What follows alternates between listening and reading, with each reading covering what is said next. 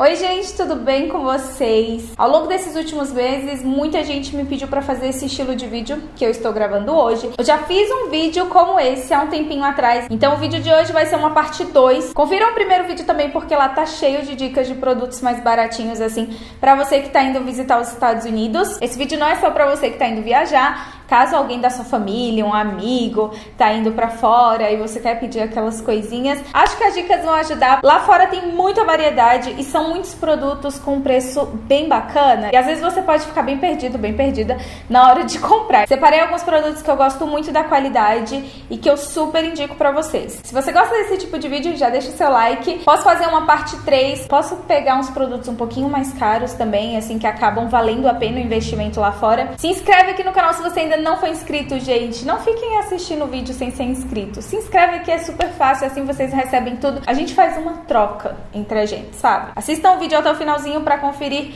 qual vai ser o próximo vídeo do canal.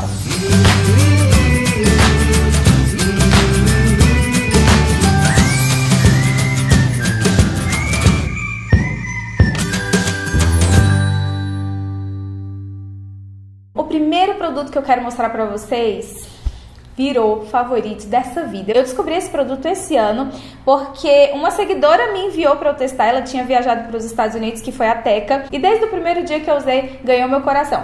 Que é a máscara de Colossal Big Shot da Maybelline. Tem aquela amarelinha famosa, né, que vende aqui no Brasil, a gente encontra com facilidade. Essa daqui é como se fosse assim, uma turbinada naquela versão amarelinha clássica que a gente encontra aqui no Brasil assim com facilidade. Gente, o que é o aplicador dessa máscara e o que é o efeito que ela dá? Ela dá volume, ela alonga os cílios de um jeito, é uma coisa impressionante assim. Não tem uma pessoa que use essa máscara e, e não tenha dado certo, assim, não tenha gostado, sabe? Talvez a pessoa pode ter ficado meio com birra no início, porque as máscaras da Maybelline são muito molhadas no início, então você tem que esperar aí uns três meses para ela ficar mais encorpada. Ela é assim, ela tem a cerdas meio molinhas, sabe? Eu tô acostumada a usar aquelas cerdas durinhas de silicone. Essa daqui não é. Mas isso não atrapalha em nada, gente. Pelo contrário, eu acho que faz o efeito ficar ainda mais incrível nos olhos. Tô falando muito sério, é uma máscara assim que toda vez que eu pudesse fazer um estoque dela eu vou fazer. Eu tenho uma outra fechada, essa daqui que eu tenho é a prova d'água. A outra que eu tenho fechada não é a prova d'água, então tem essas duas opções aí pra vocês. Gente, eu acho que eu paguei nessa máscara uns 7 dólares, foi mais ou menos isso. Um preço incrível pela qualidade da máscara de cílios. Ela é incrível mesmo. Acho que vale super a pena. São muitas opções de máscara de cílios quando você vai lá nas lojas nos Estados Unidos, você fica assim sem saber o que comprar. E essa daqui é uma que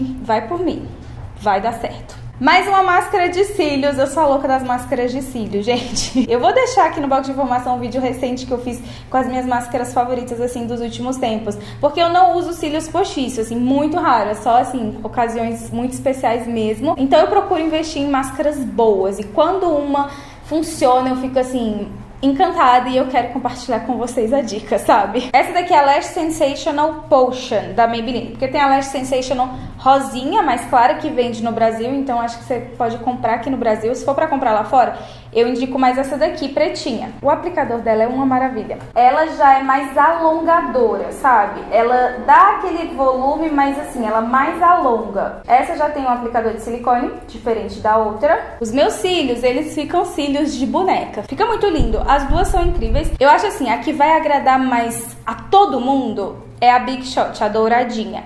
Mas se você curte uma máscara assim que alonga muito, deixa aqueles cílios um pouco mais separadinhos, vai na Lash Sensational Potion, porque eu tenho certeza que você vai amar. São máscaras, sério, tops, tops, tops. E tem essa mesma faixa de preço, 7 dólares, talvez um pouquinho menos. Vou indicar agora uma base, gente, que na minha opinião vale muito a pena você testar se você está indo viajar, que é a base Photo Focus da Wet n Wild. A Wet n Wild é uma marca baratex de farmácia lá nos Estados Unidos, vende em Target, vende em Walmart, vende, sei lá, na Ulta, vende em tudo que é lugar.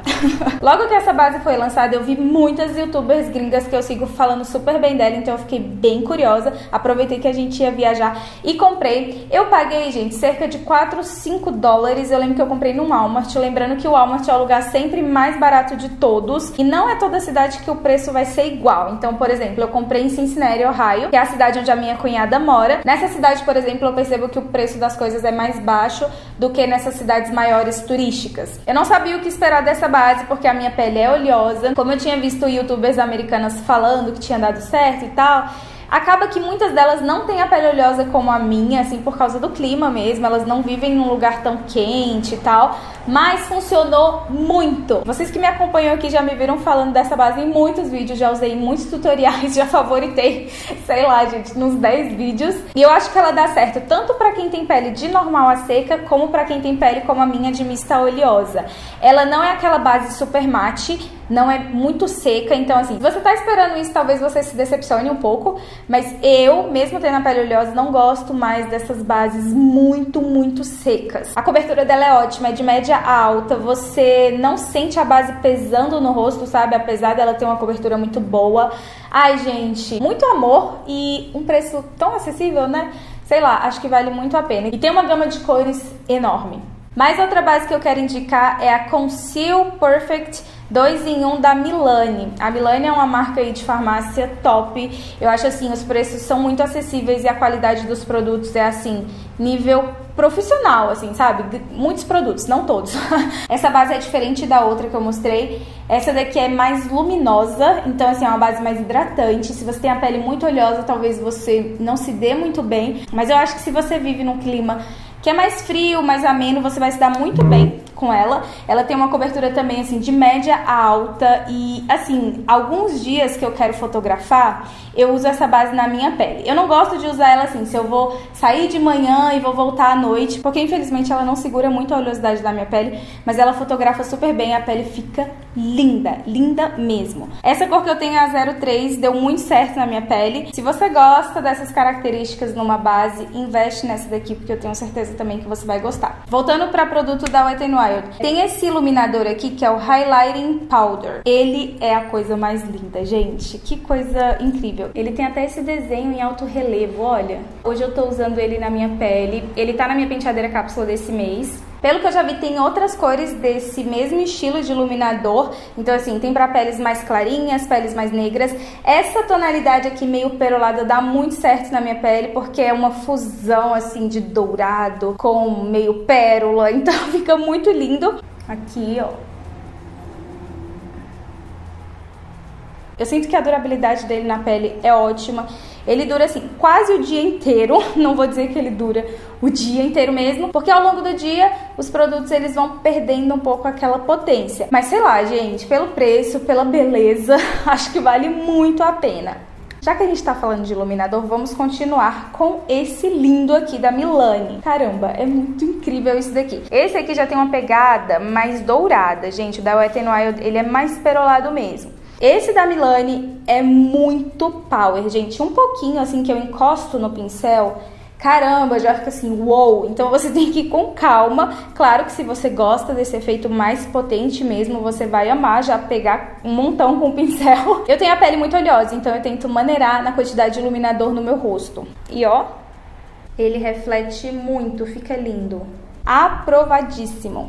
Eu tava procurando um bom kit de pincéis, assim, principalmente para olhos. Alguns kits de pincéis, na minha opinião, eles não são tão completos, sabe? Eu sinto que muitas marcas investem muito, assim, no kit de pele, aí faz todo tipo de kabuki, todo tipo de pincel para contorno, contorno cremoso, contorno, sei lá. E os pincéis para olhos sempre ficam meio mais ou menos. E tenho aqui esse kit de olhos da BH Cosmetics, BH Cosmetics. É uma marca mais acessível, só que assim, você não encontra em tudo que é lugar lá nos Estados Unidos. Eu lembro que eu comprei esse kit de pincel na Urban Outfitters, que é uma loja assim que vende roupa, vende decoração e lá dentro também vendem várias maquiagens assim dessas marcas que a gente não encontra tanto em Target, em Walmart, enfim. São sete modelos de pincéis. Eu não tô lembrando o nome exato desse kit, mas eu vou deixar aqui na tela para vocês conferirem. Eu paguei uns 13 dólares nesse kit, achei que valeu super a pena. São pincéis de alta qualidade, não fica soltando cerda, o cabo é bem firme também, isso é ótimo. Tem pincel fofão, tem um pincel chanfradinho ótimo para fazer delineado, tem pincel de cerda sintética para aplicar sombra,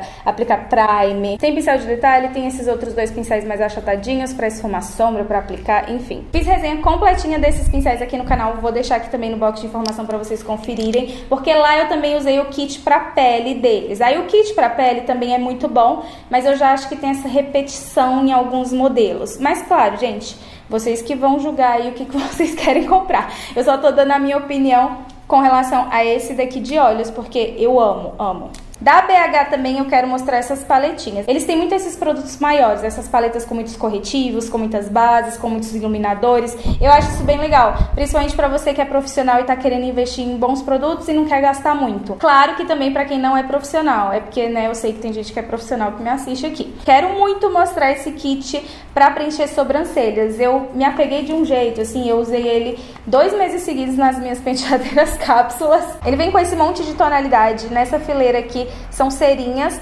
essas outras são sombras, muito pigmentado, mas assim, pigmentado na medida certa, não fica esfarelando, nem caindo no olho, sabe, sujando sua pele, nem nada disso. Se você não achar nenhuma loja da Urban Outfitters, aí você tem que comprar pelo site, mandar entregar no seu hotel, essas coisas, gente, mas não é complicado de fazer isso, principalmente se você estiver lá, né, viajando mesmo. Tem também essa paletinha de iluminadores que eu acho ela linda, tem uma variedade muito boa, assim, de cores. Tem várias outras, gente, sei lá, eu gosto muito dos produtos da BH. Inclusive, gente, tem o meu corretivo favorito da vida, do momento, que é o Studio Pro. Eu vou deixar uma foto dele aqui. Infelizmente, com a correria de hoje, eu acabei esquecendo ele lá em casa. Eu achava que eu tinha colocado ele dentro de alguma das minhas necessárias, mas não tá. É um corretivo top de linha, assim, é incrível. Se você encontrar, compre, porque assim, ele é nível pro longo da MAC, só que mais barato. Nesses últimos tempos aí, vocês que estão me acompanhando já me viram falando desse corretivo em, sei lá, uns 20 vídeos. é porque ele é muito amor, o meu já tá acabando, assim, eu já tô, sabe, nervosa. Outra marca que eu sou muito fã é a Colourpop. Recentemente eles começaram a vender Colourpop em algumas Sephorás, não são em todas as cidades dos Estados Unidos, mas se você encontrar vale muito a pena, gente. Eu adoro essas sombras cremosinhas da Colourpop. É uma coisa assim, sabe, de outro nível. É incrível e o preço é muito acessível. Tenho essas duas que são minhas favoritas, lindas, são muito parecidas, mas quando a gente aplica na pálpebra elas ficam bem diferentes. Olha isso, parece um pigmento, assim, gente, é um pigmento, sabe? e tenho aqui também o meu iluminador favorito da vida. Gente, eu mostrei muitos iluminadores nesse vídeo, né? Ele é meio cremosinho, fica um efeito muito natural, gente. Parece que esse glow veio da minha pele, assim, parece que eu nasci com essa pele radiante, entende? O meu já tá aparecendo fundinho, vale muito a pena. Desse iluminador tem várias outras cores, então você analisa aí qual que vai se dar melhor com a sua pele. Esse aqui é perfeito para a tonalidade da minha pele. Lindo! Tem muitos outros produtos da Colourpop que eu gosto demais, mas se eu fosse mostrar todos aqui, esse vídeo ia ficar gigantesco. E recentemente eu fiz um vídeo só usando Colourpop, então lá vocês vão ver os meus favoritos. Tem paletinhas, tem produto para sobrancelha. Confiram esse vídeo, lá vocês vão pegar mais dicas ainda. Vou deixar o link de um outro vídeo também, que é bases gringas baratinhas que eu mais gosto. Confiram, vai ajudar também, tenho certeza. Eu já tinha fechado o vídeo, já tinha tirado o cartão de memória, mas eu lembrei desse produto aqui, que que é um esfoliante labial da Milani. Gente, que coisa incrível. Foi um dos primeiros que eu separei para mostrar nesse vídeo, eu não podia deixar ele de fora. Os meus lábios, gente, andam cada vez mais ressecados. Então, assim, fica aquelas pelinhas, sabe? Quando eu vou aplicar batom, o acabamento não fica nada bonito, fica super estranho. Principalmente batons líquidos, né? A Troy Importados me enviou pra eu testar. E é uma maravilha, assim, ele tem um cheirinho, um gostinho meio de baunilha. Eu não sou muito fã de baunilha, mas pelo resultado, por ter percebido mesmo que melhorou muito, sabe? Essa questão das pelinhas e tal. Eu relevo esse sabor, mas eu sei que muita gente ama baunilha, né? Ele tem uns grãozinhos assim meio açucarados. Eu aplico todo dia, geralmente à noite, depois que eu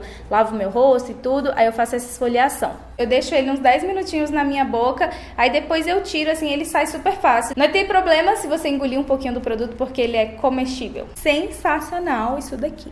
Bom, é isso. Espero que vocês tenham curtido as dicas. Compartilha com quem você sabe que tá indo viajar, com quem você sabe que gosta desse estilo aí de produto. Vira e mexe me perguntam nos comentários sobre lojinha de confiança, assim, né, que entrega tudo direitinho e tal. Vou indicar minha parceira que é a Trite Importados. Lá também vocês encontram produtos, né, dessas marcas importadas, óbvio. E o bom é porque tem um descontinho para vocês com o cupom Linda Youtuber lá no site deles. É isso, não esquece de deixar o seu joinha, se inscreve no canal um beijo e até o próximo vídeo. Tchau! Mas uma coisa que até eu pensei que era a primeira coisa que você ia falar, que foi uma coisa assim muito característica hum. desse mês, foi tontura e falta de ar. Nossa, principalmente é. falta de ar. É verdade. Primeira aula de hidroginástica da Linda, a bichinha tava subindo dois degraus de escada porque tava ficando esbaforida. Então, se matriculou na hidroginástica, disse que é bom pra gravidinha, também para melhorar o fôlego, ficar com as pernas e os braços duros. Pedi para ela dar tchau para os tiozinhos não achar que eu sou um pervertido aqui filmando, mas parece que ela esqueceu. Tá ali muito concentrada. Toda linda com a touquinha dela, corra linda. Parece que ela está com um pouquinho de dificuldade com esses macarrões.